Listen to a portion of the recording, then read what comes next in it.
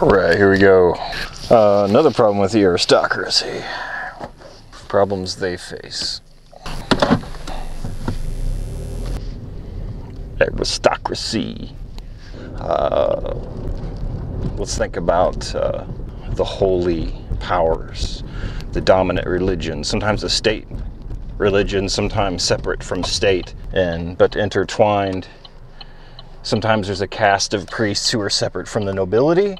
Sometimes there are priests who are the same as nobility. Sometimes there are priests who can be nobility, and sometimes priests are pulled from the uh, peasantry. Um, we have huge differences in uh, how the dominant religion or the state religion uh, or the city religion even is operated. But early on, religion, when it comes to civilization, is the earliest civilizations that we know at least, we have written accounts. We have uh, clay tablets or what have you of some of these earliest civilizations. And religion was very important when we think about the function of the priest as it relates to the king. The priest, the religious temple, uh, the religious structure, they are often one of the main validators of the king. They legitimize the king. They give a stamp of approval.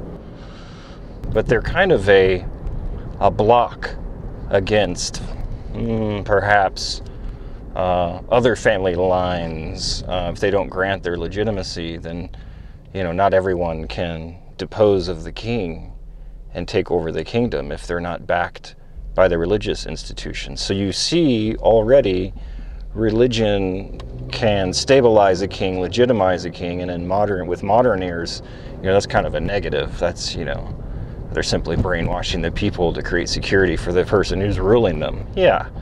You have to take it with a grain of salt and in perspective, but also keep in mind that that priestly caste or that priestly religion or cult, they also serve as sort of a stabilizer uh, for the people in the area. Because if you have an unstable kingship, say you have a policy of having rulers who take the throne and they don't have to be legitimized through a religion, if they simply have the power to depose of the king and the army and they step on the throne, well, then, you know, um, then they're king. That's a real problem for peasants and nobility alike. Bad because you have armies constantly creating civil war like you have at the end of the Roman Republic. You have constant civil war tearing apart Rome and the countryside and in the frontier with civil war, a horrible way to go. Uh, civil war is the people fighting themselves, the nobility fighting other noble families. It's an ugly thing. So you can see that religion has a real function in stabilizing things for good or bad reasons. But keep in mind, this legitimizing force is preferred by certain kings, especially early in their reign, who are supported by these priests and propped up. So you have someone who is from a noble line and they usurped the throne, and the priest was on this usurper's side the whole time, and they give legitimacy to this usurper because they're from a you know, say a royal line. Many usurpers are are legitimate, you might say. In other words, a usurper of a king is often of royal blood and could potentially serve on the throne legally because of their aristocratic status. Um, of course, you have to bend the law a little bit when you usurp the throne, but uh, you know, pre-modern governments um, they don't always make it clear. There's a lot of gray area, and that gray area is made black and white when the religion, the dominant religion, comes in and supports one over the other. They make things, the priestly caste make things black and white for the people, for the peasantry, for the nobility. They make it black and white. The more gray the world is, the more gray the law is, the more gray the government is, the more room for civil war and misunderstanding and abuse of power and constant usurping. I mean, it's tumultuous to live in a city whose king is deposed every couple years, and you get a new king in, and new armies come in, and um, friends of yours are being assassinated because they happen to support the wrong person at the wrong time. It's horrible. Um, so you see with this stability that a religion can offer, not always, they can also create instability. So that's a big problem. That is a very big problem. And some kings have solved this in various ways. Let's look at India. India is a wealth of historical examples when it comes to the struggles of religious castes with ruling castes because they're so stratified. In other words, a Brahmin of the priestly caste in India wasn't supposed to rule things. They're they're a priest. They have certain privileges, you know. But a king cannot be a priest as well. So what happens? There's an interesting, I guess you can call it an era in India um, that gave birth to two religions. One you'll know, and one you might know.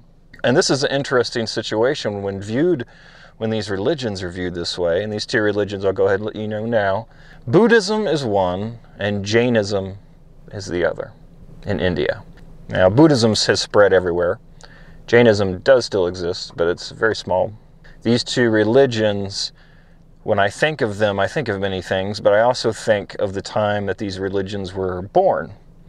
And this was a very special time, and and these two religions are very unique, in my opinion um, in India because they are not from the Brahmins. These religions are not from the priestly caste.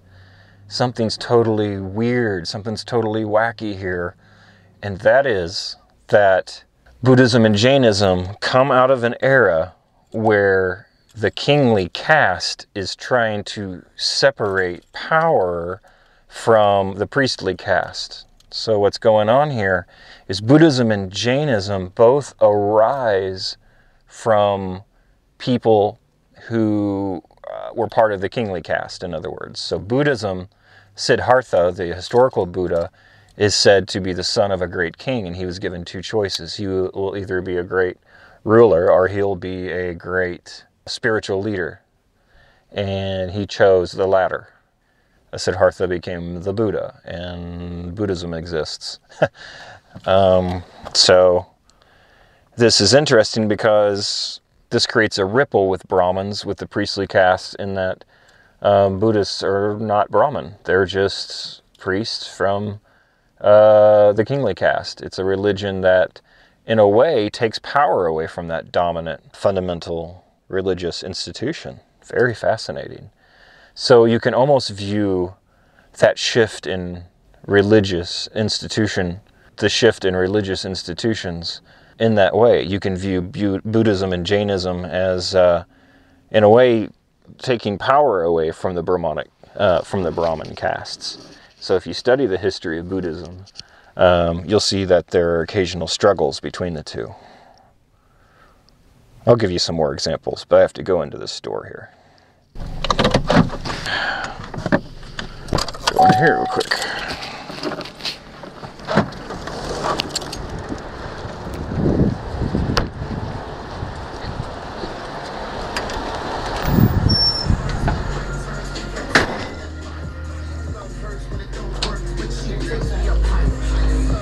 Hey.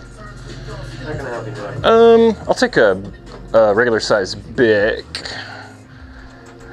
Let's go with orange, perhaps. Um, do you have any more of your? Um, okay, that's all right. Um, uh, what are they?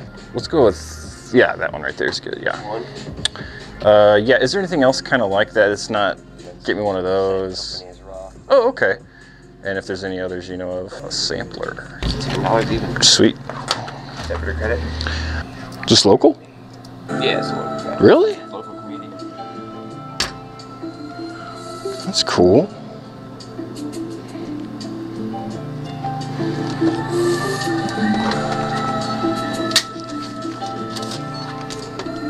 your coffee or anything, man? Oh no, I'm good. Cool. Thanks a lot.